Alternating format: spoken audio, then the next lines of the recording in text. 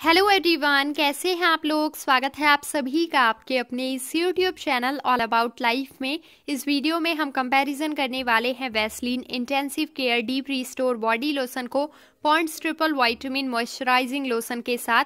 सबसे पहले हम इनके क्लेम्स को कंपेयर कर लेते हैं। वैसलीन पर लिखा है clinically proven to restore dry skin Pond's पर लिखा है सॉफ्ट एंड स्मूथ स्किन जो पॉइंट्स है वो वैसलीन से महँगा है।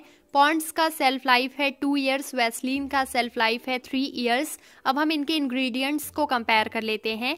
वैसलीन में है petrolatum glycerin mineral oil oat straw extract, methyl paraben, propyl paraben, perfume B H T Pond's में है mineral oil, glycerin, niacinamide, perfume, methyl paraben, propyl paraben, linalool.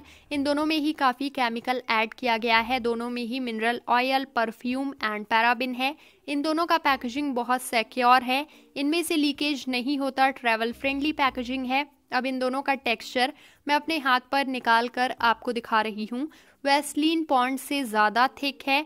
Pond's ज़्यादा जल्दी एब्जॉर्व हो जाता है स्किन में। एब्जॉर्व होने के बाद ये दोनों हल्का सा साइन देते हैं स्किन पर। दोनों ही स्किन को अच्छे से हाइड्रेट करते हैं नॉन स्टिकी फॉर्मूला है। मुझे वेस्लिन का फ्रेग्रेंस ज़्यादा पसंद आया। अब हम जान लेते हैं कि किस स्किन टाइप्स के लिए कौन सा बॉडी लोशन है। वेस्लिन विंटर सीज़न के लिए ज़्यादा बेहतर है। इसको dry to extremely dry skin वाले इस्तेमाल कर सकते हैं। पॉन्ड्स को विंटर में ऑल स्किन टाइप्स वाले इस्तेमाल कर सकते हैं। समर में पॉन्ड्स को ड्राई स्किन वाले इस्तेमाल कर सकते हैं। एक्सट्रीमली ऑयली स्किन के लिए ये दोनों ही बॉडी लोशन नहीं है।